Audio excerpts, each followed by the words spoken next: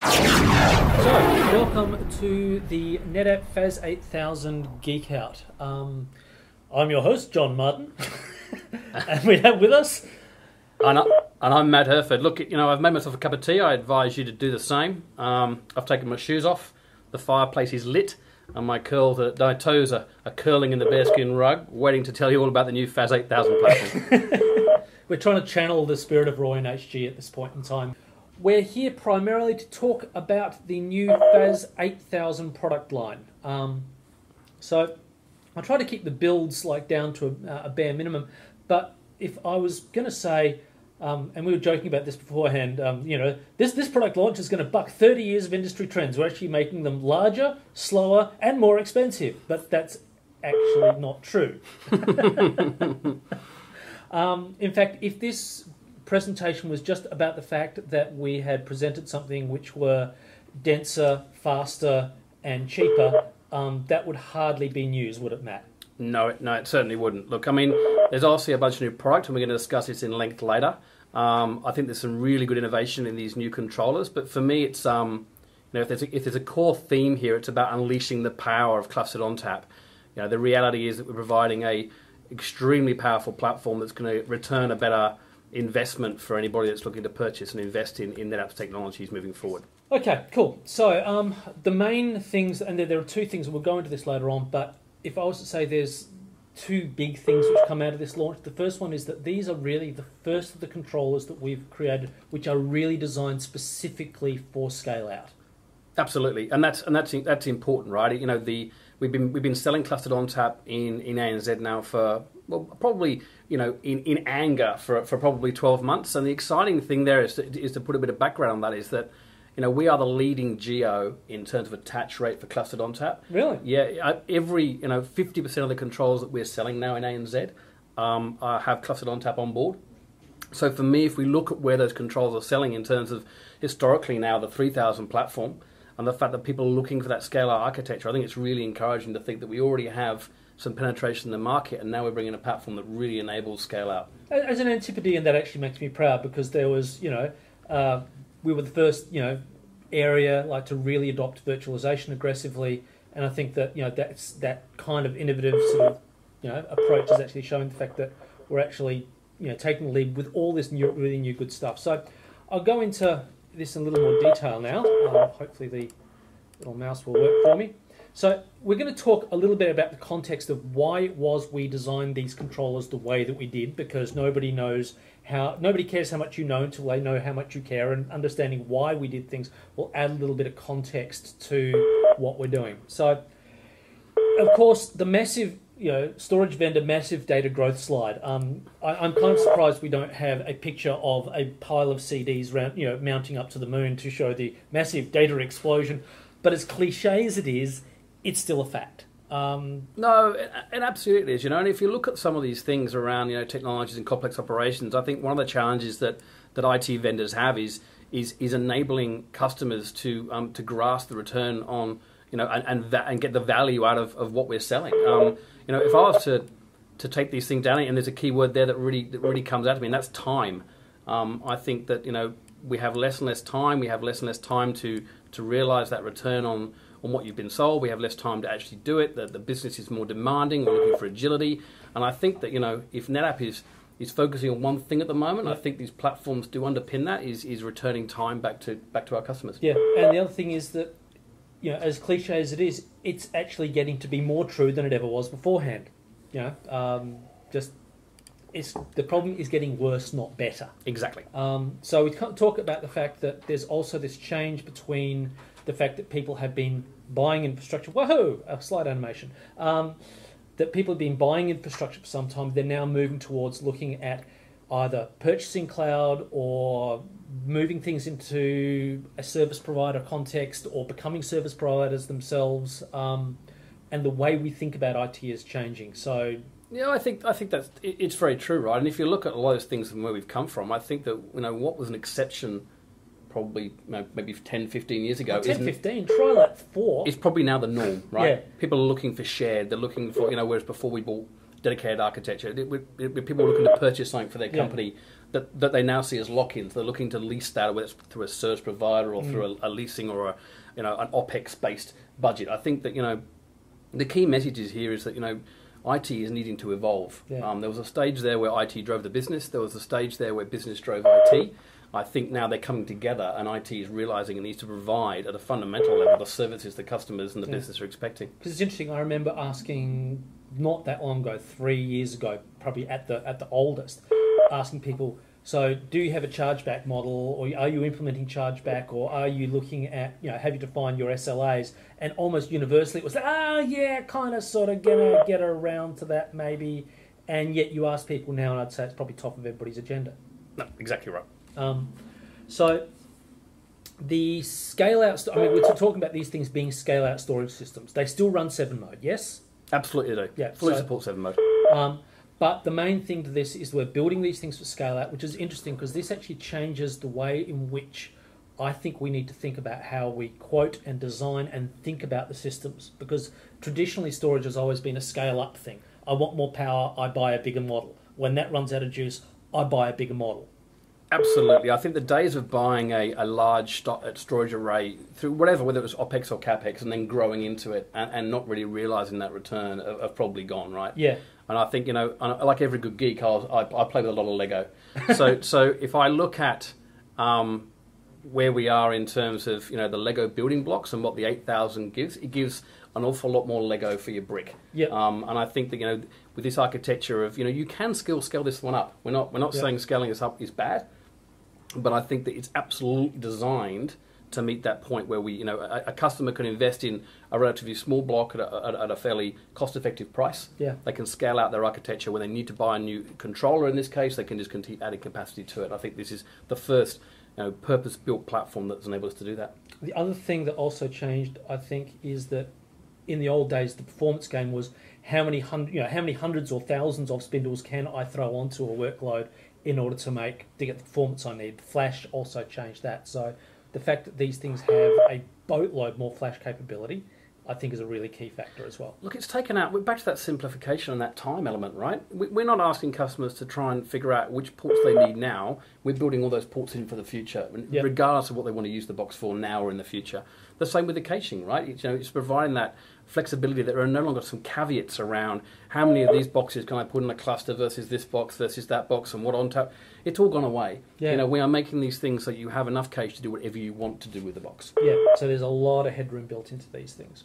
Um, so you know the main things, and I'll I'll kind of skip past this slide relatively quickly, but you know the whole idea is that everything is you know two times bigger, two times faster. I mean, speed does still matter to you know it's time to results, time to market, that sort of stuff. So Absolutely. Look, and I've, I've quoted these things up, and what's what's really encouraging for me is not only have we been able to throw effectively twice as much hardware inside the box, Mhm. but we're getting twice as much performance out of it. yeah, And I think for, from if you look at that from a hardware engineering and a software engineering perspective, that's rarely achieved. yeah, Right? Often, you know, you put a bunch of hardware in it, it takes some time for the, the software layer in clustered ONTAP in this case to catch up and actually deliver on that capability. You know, that, that's not the case. You know, you are going to get a box which in, in most cases is, is twice as powerful as the model it, it, it, it replaces and in, in, in, across the board, and I've been doing some quoting. These systems are now quotable. Um, you know, they're not they're no more expensive. They're on a price point, yeah. if not in some cases cheaper than the platforms they replace. But we're still keeping all those storage efficiency features. Of course, it's fundamental to what NetApp does. Uh, and, and back to that, you know, back to that time thing and that simplicity thing. You know, I think they're going to become more more default. You are going to have those on by default when you Yeah. buy NetApp. There's not going to be a bunch of complexity around how do I turn this on, how do I enable that, how do I how do I get access to this. The way that snapshots were on by default. Exactly, the So- platform can now support it. There is no caveats around how much memory you're pegging and how much fingerprint.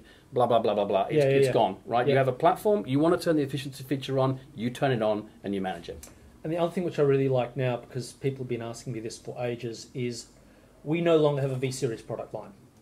Or actually, in the FAS 8000, we no longer have a V Series product line, which means that now just by throwing on that software license, you can take those storage efficiency features and apply them to EMC, HDS, and our own um, uh, E-series arrays. E-series arrays. Yeah, look, and, it, and it's providing that flexibility again, right? You know, it was a problem before where you know you had to buy a V series controller up front to provide that capability in year two and year three if it came about.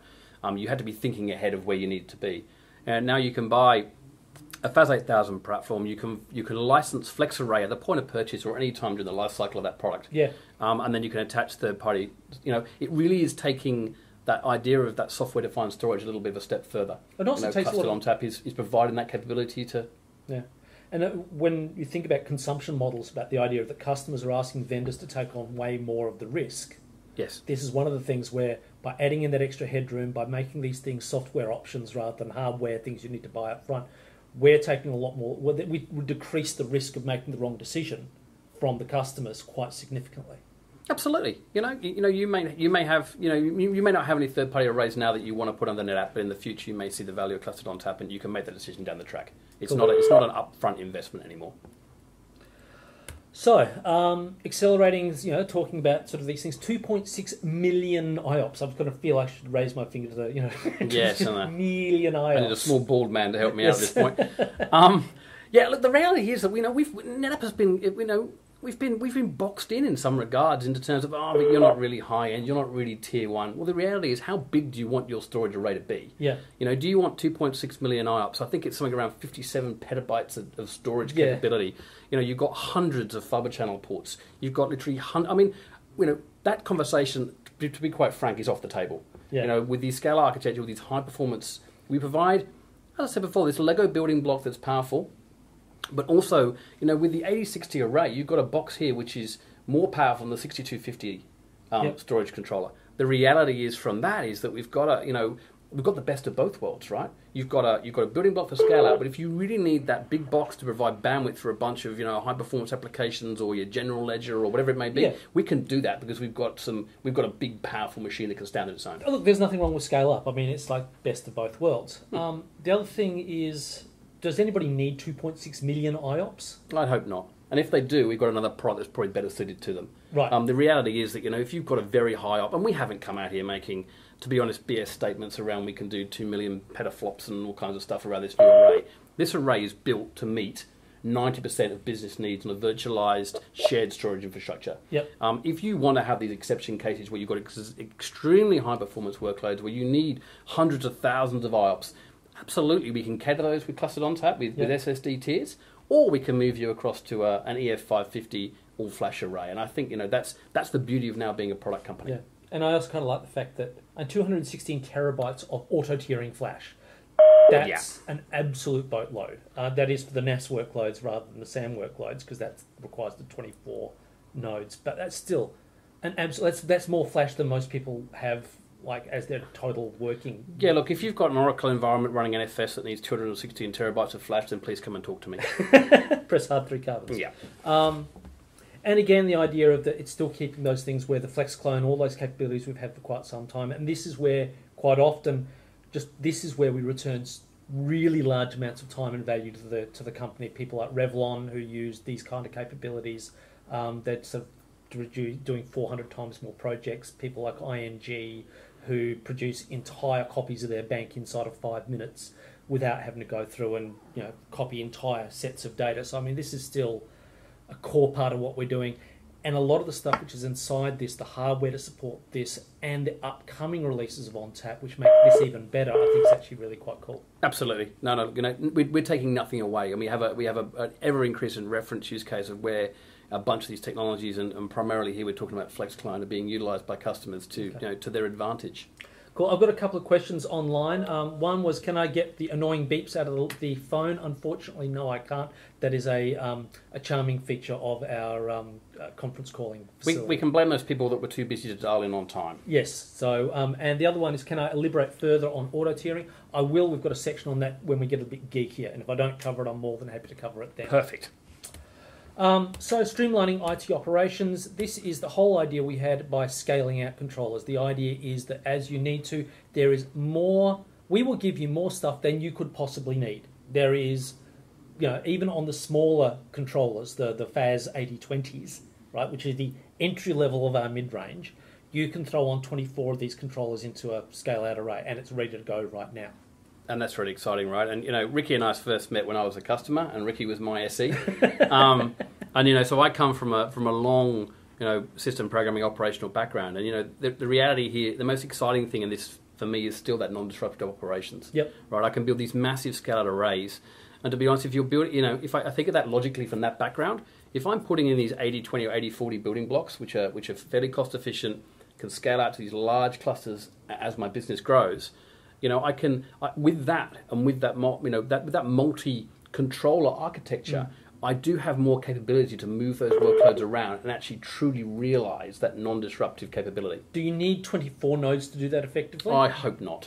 um, no, obviously you can do that on two nodes or four nodes, right? Yeah. But I think that the, the idea is that you're not making a massive investment. You're not going to, you know, you're not going to have to wait three years until you've got multiple controllers in your cluster to be actually realize that vServer migration capability. Um, so again, I'm getting some questions about things like how many drive shelves are supported per controller pair. So people are desperate for us to get to the technical meat. I will get to that. um, Bear with us. We've got the gig slides coming. so uh, ba, ba, ba, ba, ba, I think we've covered this pretty well. Um, oh, yeah, another thing, we can mix your existing assets, and I'll cover this in more detail later on. But one, Hmm. not only can we throw in your existing um, uh, things like you know the the the VNXs and your USPs and your you know your Husses and stuff like that. We can also throw on your old NetApp shelf. So if you're a NetApp customer, it's not like oh here's the new controller, go and buy a whole stack of new shelves. Yep. We can still use the old H4s. For those of you who are not NetApp customers, H4s are, are shelves that we stopped selling three years ago. Um, but there are still people using them. Absolutely, got critical workloads on them. We're not going to push people to reinvest in things they don't need to reinvest in. Yeah. Um, so moving right along, um, non-destructive operations. Again, we talked a little bit about this, but this, you know, I love this little animation. The nice is showing us replacing an 80, an 80-20 with an 80-40. In fact, what you would probably see is the people who already have clustered data ONTAP that are running on, say, our older FAS 31 and 32 series. Yep. This is how they would go through and remigrate and add in the FAS 8000s. In fact, if they've got clustered data ONTAP already with our older controllers, they can r- roll in these 8000s completely non-disruptively, and that's one of the big data lifecycle challenges that people face. Absolutely. There- there- There's no, there's no, um, we're not placing any caveats about putting these new 8,000 platforms into your existing clusters. Um, better management, we've simplified because I think that I think it would be fair to say that the early cluster mode installs required sort of a, you know, we had a dedicated team of experts to go in and do that. I Absolutely. think that um, now we could reasonably, in fact, I actually saw a video of some of our most senior people trying to put together a cluster. Um, Some of our executives. some of our executives, yeah, some some people like BP, you know, our CTO, and like the Yes. guy, the guys that haven't actually been technical for quite some time, but they're really, re- I mean, scarily smart guys trying to put together a cluster for the first time, and you could tell that you know this wasn't something even a smart person could just do intuitively. I think that one of the a lot of the big changes we've made a lot done a lot of work in this to make this so that you can get a cluster apart from the fact we factory ship these things pre-configured. Yep. But if you want to and you need to go through and set up these clusters, it's a bang bang bang, follow the bouncing ball, and away you go. So we've spent a lot of money on the usability. Yeah, and that's a great approach to get funding to do it, right? Yeah. Is to go and get an executive who won't give you funding to, to muck it up. Um, so the reality is, yeah, I mean, the wizards now and the, and the way that we can we can set these things up, it's it's it's it's streamlined and Yeah. it's simplified again. Once again, it goes back to that, you know, getting the value when you purchase it and giving you time back to go and do other things in your role. And there's things which aren't strictly part of the 8000 launch, but kind of apply to our entire range because that's kind of the way we do things. Because as much as this is good hardware, it's really a software layer that you're managing. Yep. Is things like um, Performance Advisor. Yes. Have you seen Performance Advisor in anger yet? I have seen the new version of Performance Advisor, and it's very exciting, right? I Yeah. think we've taken some of the um, some of the Akorri technology and, and Yep. built that into that platform. Um, I think there's some huge benefits. I think it's actually giving performance advice where, as I think our previous products, if, was if more we're like perfectly honest, it's, pro- it's probably telling you what just happened. Yes. Um, which which isn't which isn't really advice. It's kind of you know how can I save my job? Yeah, well, it, it is great to have a rear view mirror, but it's a lot better to actually have a GPS to tell you where you need to where turn. you should have been in the first Yeah, place. yeah, absolutely. Um, and this is also part of our cloud infrastructure being part of things which you can throw into Amazon private storage, say, for example, and also it becomes the foundation of that hybrid cloud stuff that we've been talking about. And this is really exciting, right? And when we talk about scale out, I often, I often extend that into this this, this um, you know, unbound cloud theory of you know we scale out so far that we can scale out from your data center into somebody else's data center into Amazon's data center. Yeah. That's how scale out we are, you know. And, and and I think this this platform just reinforces that, right? And if you look at what we've done with the ONTAP version this is being released with it at eight two one, we've also brought in ONTAP Edge yes. in a clustered mode. So Yep. The, the, must admit, my, getting my head around the fact that we had a one node cluster was a little confusing for a while. um, but you know, effectively, the VSA in ONTAP Edge now is supported with clustered ONTAP with this platform. So you know, you've got that capability to have your core data in a private cloud burst into a service provider, burst to Amazon for workloads, all using data ONTAP, yep. and all using SnapMirror as your, as your data transport effectively yep. in the cloud. But then you can also have your remote branch or you know that, that office in Darwin or whatever it may be, connecting up to your cluster and manage that as one you know one single entity. Pretty nice. Um, so we're going to do the deep dive stuff. Um, so one of the questions was, is the Performance Advisor available for 7 mode? I honestly can't remember. I believe that it does work for 7 mode. We need to check. I, I would counter that. Yeah. I think the, the new um, the new product may only be for clustered ONTAP, but we, we'll get back to you. The FlexArray uh, stuff, um, let me see, I think we actually kind of covered this reasonably well. Um, so the FlexArray storage virtualization software, this allows us just with a single license to go through and virtualize EMC arrays, HDS arrays, and our own E-series stuff. Absolutely. Um, so that's a smaller list of things than we had with our old V-series. Is there a reason for that that you're aware of? No, there's not. Other than, other than I think that you know, there's obviously complexities when we start building interoperability matrices out. Mm-hmm. You know, the reality is that, you know, that testing um, and the kind of governance that NetApp wants to put on, you know, ensuring that the, the, the system is going to run is fully supportable. Um, you know, we we can't cover everybody. The other the other question might be that perhaps those other storage vendors aren't being successful in the market, and we don't need to worry about them as much. Look, there is a bit of that, and I think that if I take a look at the roadmap, I think what you were seeing is a requalification process going through because there are actually some technical things we had to get over. It wasn't just us being Yeah. difficult with the V series versus the versus the FAS. We actually had to make some changes to make sure this stuff would all work. So- Exactly right. You know, and you know, yeah, and clustered ONTAP, we did rewrite the operating system. Let's be fair. So Yeah. you know, we, we it, it needs to be requalified back again. Um, sorry, just make sure I've got everything. Um, so again, single storage pool, and this is kind of an interesting concept with the fact the idea is that underneath clustered data ONTAP, while you're still dealing with things like aggregates and volumes, to a great extent you're now managing this as a single management domain, which means that rather than having to manage 20 different arrays or 20 different filers or 20 different things, you're managing one thing, getting management out of one place. Um, simplicity and time again, right? Yeah. You know, you know, send your storage, or send your. You may not even have a whole resource in your customer base who's looking after storage now. That's Yeah. a reality in most of our customers. So if he, he he goes on a couple of cluster data ONTAP training courses, Yeah. he's covered. He can manage your entire storage environment. And the other thing is CDOT has, sorry, CDOT cluster data ONTAP has a really extensive API. And I think we're seeing as more automation kicks in, it's not going to be a guy that's managing this stuff. It's going to be System Center or UCS Director or Yeah, exactly right. There's a bunch of these super element managers that are going to look after our stuff. And you know, if if you guys are familiar, I'm not sure we've got slides, John, but if you know the WFA for the workflow automator tool that we provide, um, I've seen some customers doing some amazing things. In fact, I was talking to a customer um, the other day, and they've they've effectively fully automated their entire um, with clustered ONTAP their entire DR scenario for their VMware farm. Right. And it's completely, almost completely similar, except for the restart in the VMware element, um, because it changes networks. Yeah. Um, but but they've you know the entire process. They hit the go button for DR. The entire scenario takes place completely automated. Right. Um, it's pretty impressive stuff. And this product, you know, we we provide um, it's enormous value with, with extremely low cost Yep. on our control platforms. And again, unified, does that really make a difference to people? Are there people running SAN and NAS at the same time? Or do you think it's just one of those things where it doesn't matter what you want to throw at your infrastructure? It's one application, it's just a software license. It's not a you buy a SAN array for this thing, you buy a NAS array for this thing. It's just a software license and sort of reinforces the whole software defined infrastructure portions. Yeah, look, I mean, interestingly, I think some of the competitors in the marketplace are trying to to, to, to, to redivide that up, right? Yeah. Because they have limited capability. So they're kind of saying, oh, you kind of want to have a nice cozy solution for this, and you want to kind of put a SAN solution in for that. Um, I think the reality is in time, in terms of time and you know, getting value from from where your people are spending their time managing storage, you want to have a unified storage Yeah. platform. Actually, the other thing which I think is interesting, we'll touch on this when we get to the deeper dive portion, is their ability to convert from fiber channel to Ethernet without requiring anything new in the controller because we've got those new unified type target adapter. So basically, you plug in a fiber channel adapter and it becomes fiber channel. You plug in a 10 gigabit Ethernet adapter, it becomes 10 gigabit Ethernet. It's the same physical port that you can use for either, and you can just switch the two using a software setting. Exactly right. You, you know, if you bought if you bought a fiber channel port and you and you're going to go to Ethernet in the future, you don't have to go and change the card in the box. You just change the cable. Right, which is important because I think there's still a lot. Of, there's a lot of people arguing, oh, it has to be fiber channel, or oh, I've got this infrastructure, or no, Ethernet is a way of the future, and it's like, yeah, it doesn't matter.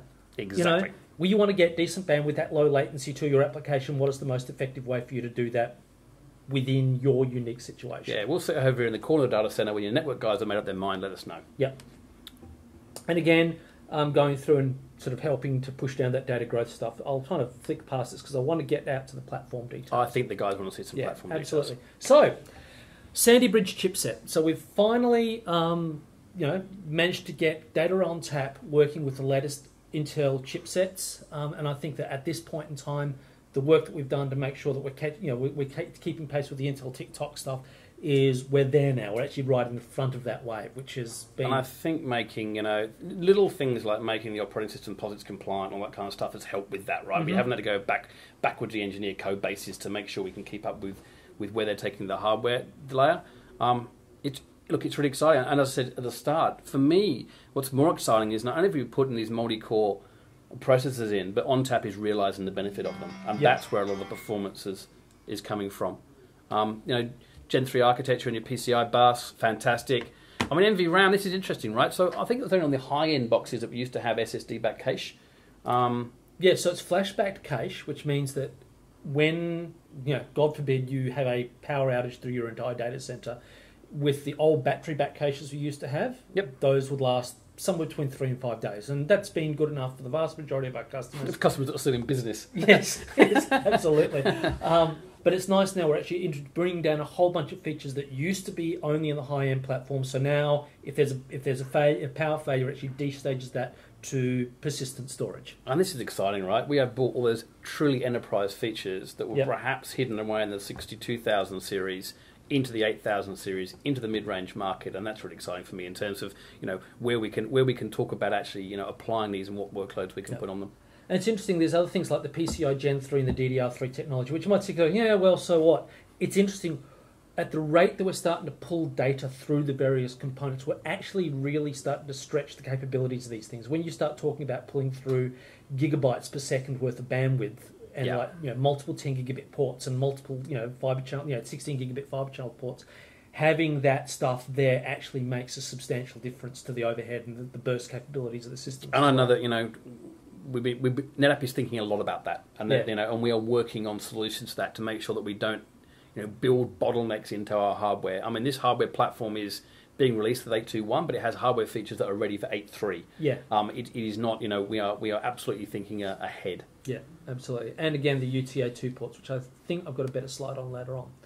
So one of the, somebody asked earlier on how many um, how many shelves and things like that can I add to these things? Well, let's just take a look at this within the context of the controller range that we still have. Okay, the 8020 still has the same number of drives. It's 480 drives, assuming 24 drives per controller. I cannot do math without my phone, but that's what 24. I'll work it out later on. But basically, it's the A same lot. number. It's, it's a lot. I think it's something like six shelves for the um, for the 8020, um, double that for the 8040, and again, pretty much double that again for the 8060. The short answer is, you can put more shelves onto these things than you will probably ever need. I mean, any one of these things, you know, does anybody hands up who needs more than a petabyte on their entry level controller? Yeah, exactly. It's it's the short answer is how much does it have? More than enough. And if it's not more than enough, we can go to the bigger controllers. And if that's still not more than enough, we can scale out. That's you know, it's it's more than enough. The exciting thing here really is around this VST, right? The, the massive increases in VST in the in the 8020, 8040 models. Um, it, it's, it's really quite exciting what we can do. And I know I've been playing around with a bunch of quotes because that's what I do in my spare time. But but the price points around the hybrid disk shelves, where we are putting some SSDs and some SAS disks, or some SSDs and some some SATA based technology into a disk shelf, they're really quite exciting. Yeah. Right. I think that you know NetApp is absolutely putting a stake in the ground and going that flash pool is absolutely a technology that we, we should be looking to adopt in our customer base. Um, so again, some questions about how many onboard ports and UTA ports. I've got a slide on that later on, so we'll get to that. But I'm now getting back to the question about how does the auto tiering work. Um, auto tiering, we have three ways of adding flash to a FAS system. The first way, which we've been doing since about 2010, we've shipped over a petabyte worth of this within Australia alone, um, is Flash Cache, and we've been using that for quite some time. Um, again, real time. All of these things are real time tiering. So that means that basically you don't have to wait until tonight or after a run goes through when people want their data to be either cheap or fast. This means that if it's not on the fast storage now, the second you do an I/O, it gets promoted up into the flash, and all subsequent I/Os happen out of that. It's very, very efficient. It happens at a 4K level, um, and we've always done that with the flash cache. We recently came out with something called Flash Pool, which is based upon SSDs drives, which are actually closely associated with the disks. And this is one of the areas where we've seen some massive increases, which you'll see in one of the future slides, about how much we can add to this. And I think you mentioned beforehand, the pricing of this is now really getting to be quite compelling. Absolutely. Um, you know, you know, I, you know, I, will talk honestly, but because you know, previously the flash cache technology was, was, was probably the most cost effective way of putting cache into a controller. Yep. I, I, with my early delvings into the quoting system, you know, I I think there's some definite advantages mm. with the flash pool technology, yeah. which is which is exciting, right? Because I think the SSD stuff is you know, absolutely coming down in price, and you know, we, have got dual, you know, dual manufacturer sourcing, all that kind of good stuff yeah. is in place to secure it for us. And the interesting thing is, the rules of thumb that I've been using, which have worked pretty well, is how much flash do you need? And the answer is somewhere between five percent and ten percent of your total actual data. So yep. if you've got about hundred terabytes of actual data, mm-hmm. um, which usually means you've got about 500 terabytes of actual storage with the way that people provision stuff for the most part, um, is that that means that you know you probably only need like about 10 terabytes of flash, between 5 and 10 terabytes of flash, which, as you'll see later on, is quite possible on even the lowest levels of controllers. Absolutely. Um, another one which we don't talk a lot about is Flash Accel, which is actually a software offering which allows you to use Fusion IO, uh, I think the QLogic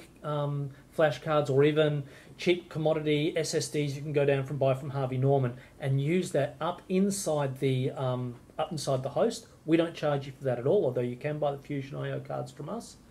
And that allows for those applications which genuinely do have a boatload more flash requirements to be spot added into virtualization environments or to Microsoft environments or to Linux environments.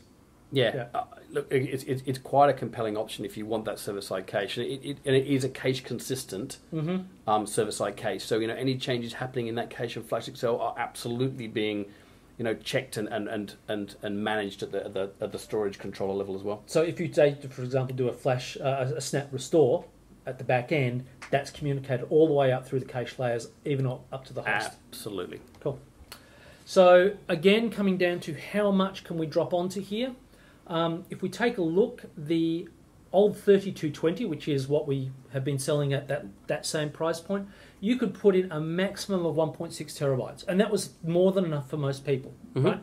Um, we can now drop in six, right? That's more than three times. It's like I think it's almost more than four times the amount of flash, and you're actually seeing that you can actually drop in more um, uh, more flash pool than we can with flash cache which, if anybody's interested, has to do with things like tag stores and some other interesting RAM RAM occupying stuff. But we're really beginning to see Flash Pool come of age, and I think that you're going to see people using Flash Pool a lot more than Flash Cache going into the into the future. Yep, I, um, I, I totally agree with that. Yeah.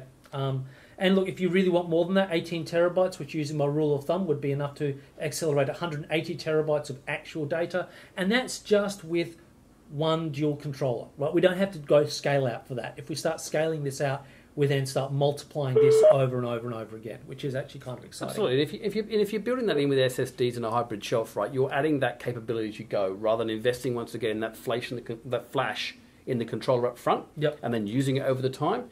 Um, you are really, you know, as you're adding storage, you're adding, you're adding speed.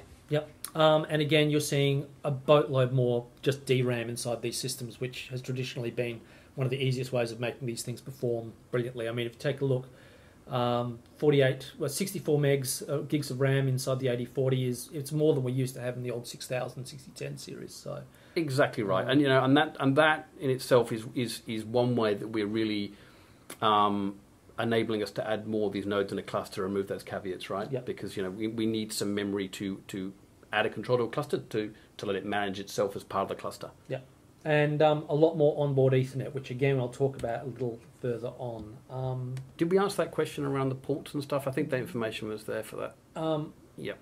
Okay. So one of the questions was, can you ple- please clarify the statement requires software installed on server for Flash Accel? Um, we're talking about installing that into the guest OS. Um, is the answer to that question. Um, so the question was, um, are they talking about installing the component to ESXi or the guest OS? As much as I would love to be installing software into ESXi, VMware, and as much as they love us, um, I don't think they're loving us quite that much at this point in time. No. Um, but we can actually do this within the guest OS. We can also do this for bare metal. So again, I'd strongly encourage you to take a look at Flash Accel because it's actually remarkably cool technology. Yep.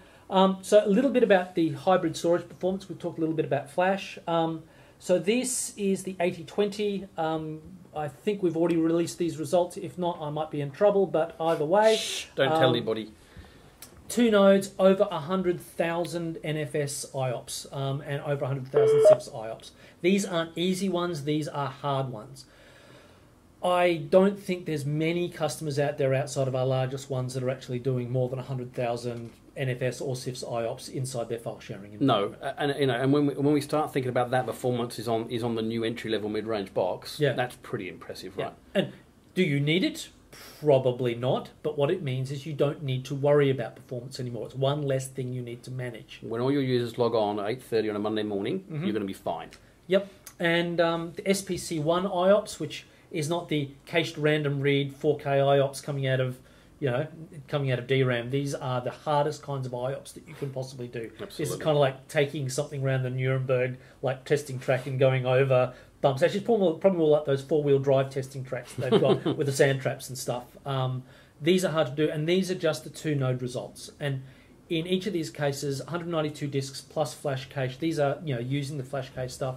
Um, I'm happy to go into a deep analysis of performance and stuff like that, but these are very, very good results. And keep in mind, these can be scaled out. Yeah, and I think we've got some some graphs showing how it actually scales out pretty I well, right? I think I do. I think I included that inside this lot. So again, uh, if we take a look at two node H, HA pairs, um, so this is a comparison. I don't have numbers on here because some of these numbers um, just are, are a bit secret and might get slapped. well, no, it's actually the fact that they're based upon the same kinds of benchmarks that we used beforehand, but we can't publish those unless they're fully audited. So it's the same style of benchmark using internal things, but we can't announce the numbers because they're not audited numbers. And I think that's fair.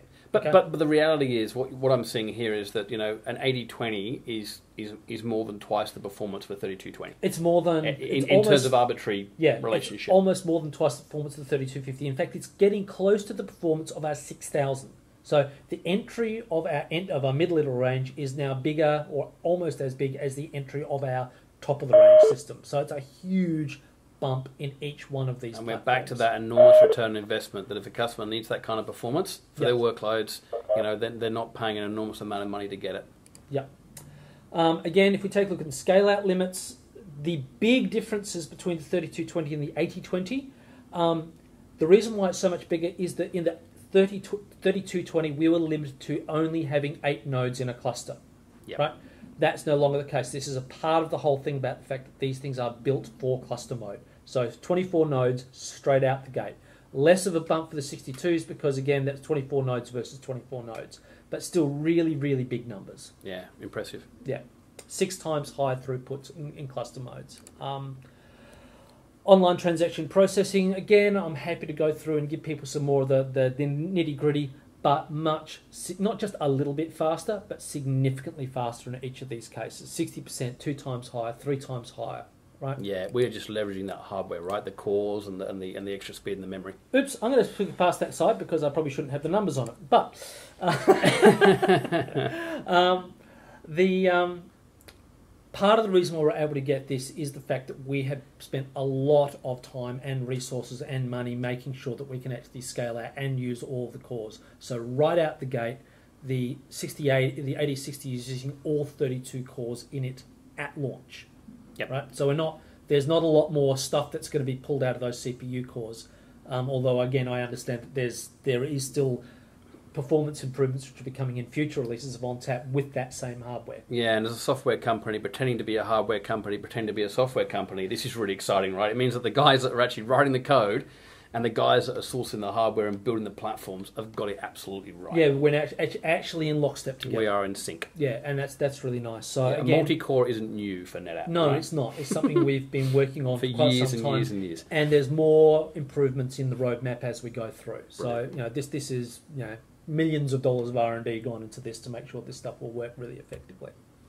So for those of you, I'll just double check to see whether we've got any more questions on the chat. Um, I'm new to NetApp. Do they still have the V series in the 8000 range or just the FAS? So there is no V series. It is now just a software license. Yep. That's the FlexArray software. So, when you're when you're quoting any 8000 platform, you just option on FlexArray as the software item, and that provides provides you with, with you know the, same the same kind of V series functionality. And you know you could do that at the point of sale, as we said, or you could do that afterwards.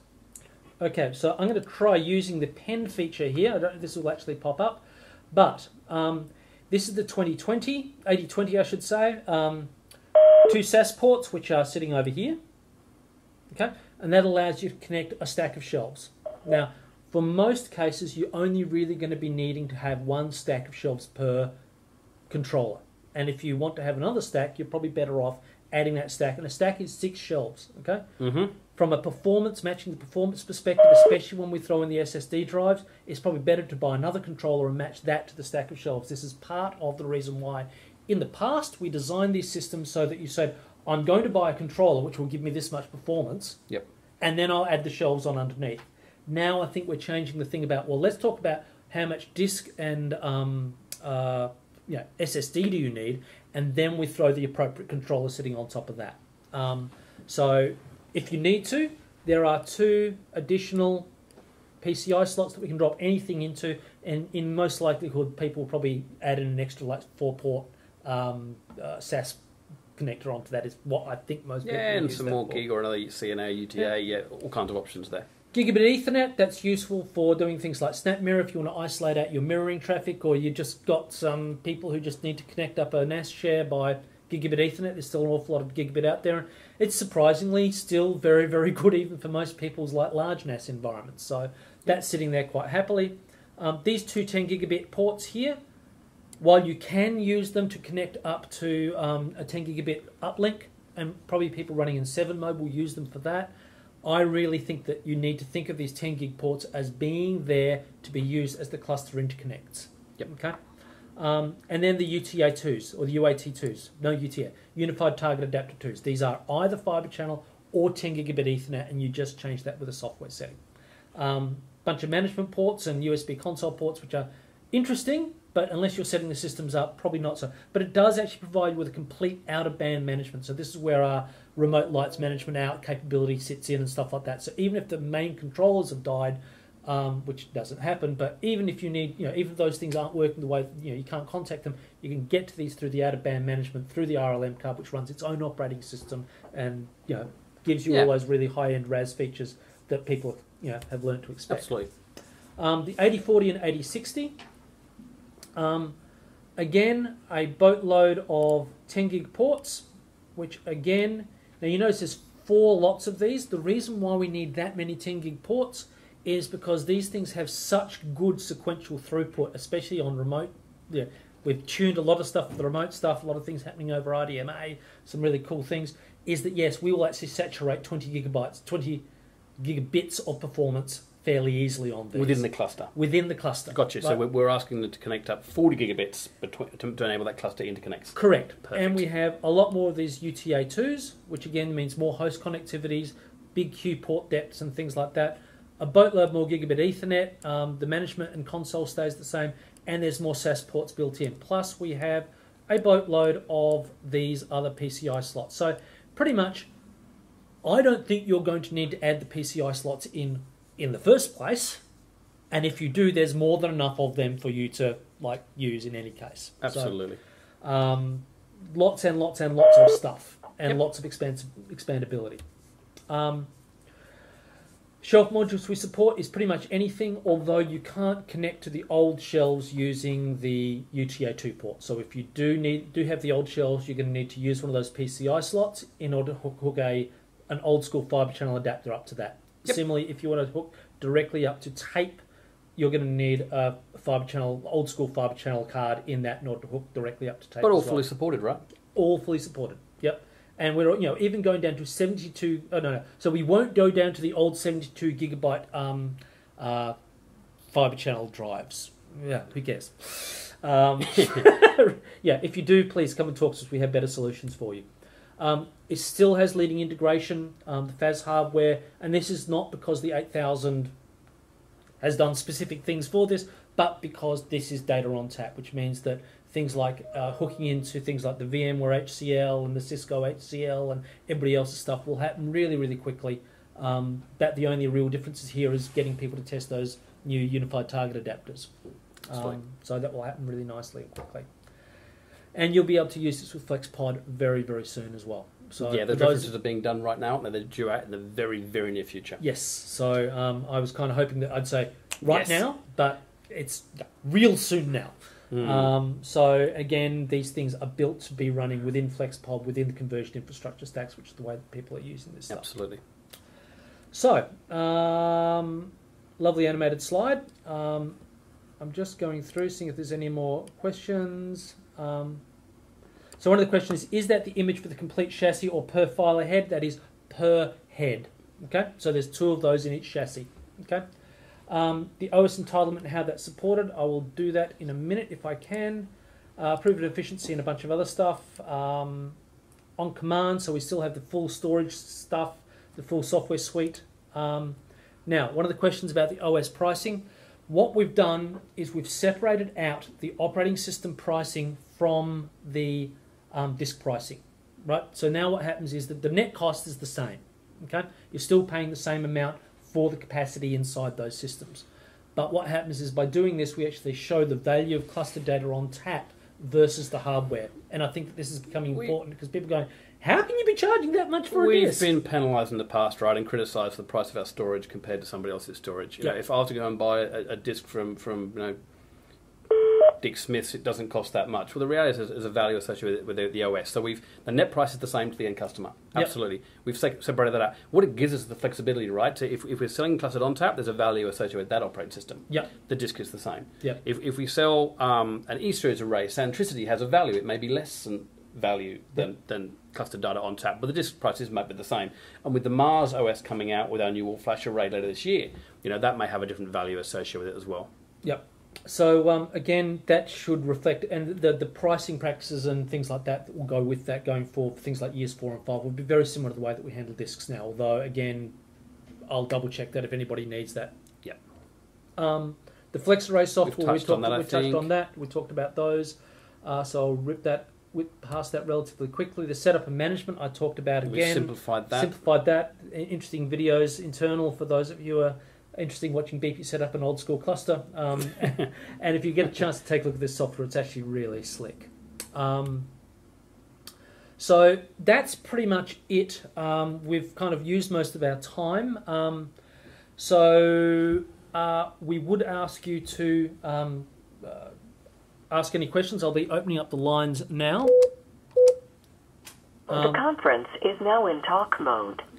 So yes, Matt, you wanted to ask something. No. Oh, well, can you add more expansion slots just than just two in the 8020? The short answer is no, you can't. Okay, and again, this comes back to, and I'm more than happy to go through and talk to you about this, but keep in mind that with the 8020, if you need things which are more slots, you're probably better off actually going out and buying another one. Because here's an interesting thing: when you take a look at the pricing exercises, the cost of two 8020s is quite similar to the cost of a single 8040.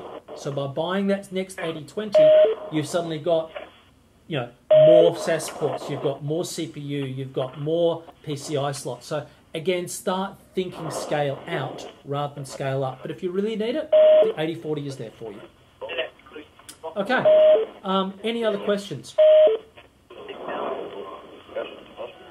So please, um, uh, I mentioned that stack is six shells. Uh, when did it change from ten? If it is ten, then I'm wrong. I just remember it being six. Um, maybe I'm going back to old school fiber channel. I've been here for too long. I don't think there's been any change. So if somebody is, is slightly more geeky than we are, then, then we'll, we'll accept that we're wrong. Okay. Um, again, uh, one of the things is don't forget to come. To, if you come to Cisco Live, come and see us at the booth. Um, stay connected to us. There is a NetApp ANZ um, Twitter handle, and the hashtag is FazOut1000. So we will be going through um, tweeting some stuff about that. Um, there is an ANZ info at netapp.com if you have any specific questions. Um, I'll come back because apparently people missed some of the stuff. Um, so The do we? conference is now in silent mode. Do we have um, a? Uh, can you add more than two stacks to the 8020? No, you can't. That's why we have scale out to a certain extent, or you can buy the 8040. That's right. Um, you know, the 8020 is roughly speaking half the price of an 8040, right? As in far terms as of the, the controller, in yes. terms of the controller and stuff like that, and the software that goes with it, even when you add in things like the the cluster cluster node. For me, if I was buying an 8040, I would be very. I, in fact, I would probably look at buying a four node 8020 cluster rather than a two node 8040 Absolutely. that's the way that I would probably look at that. But it really depends upon things like how you want to lay out your aggregates, which is the reason why I say start with your disks and your disk requirements first, then figure out the controllers you need on top of that. Um, so when did it move from six to ten? Uh, from ten to six, it never did. I was probably just wrong. No, I think the same limitation applies that you can you can you can flick from one disk shelf type to a, to to only one one change, right? Yeah, that's so right. So you SAS can- to SATA, but you can't go back to SAS. On Yeah, absolutely. So you know, the in the old days, you used to have to have your SAS on one and your SATA on the other, and that was a, a throwback back to the old days. We're, we're quite conservative about our making changes to best practice recommendations because we want to make sure that people are 100% safe. So when we recommend something or make it a poss- possibility within the infrastructure, we need to make sure that's been really, really, really well tested. Yes. Um, and so there's stuff which you can do on these systems which we're not talking about just yet because we want to make sure that you're 100% safe. So there's a lot of headroom in these systems, a lot of stuff coming up, um, and stay tuned for the for the next range of statements because it's going to be an exciting year. It is. Okay, thank you very much. Are there any last questions before we close the call? Ah, one last question was so if I want to buy a V series, what do I ask for? You either ask for the FlexArray license or you can still purchase a V series in the old 32 and 6200 range. Exactly right. Thanks very much, and it's been real. Cheers.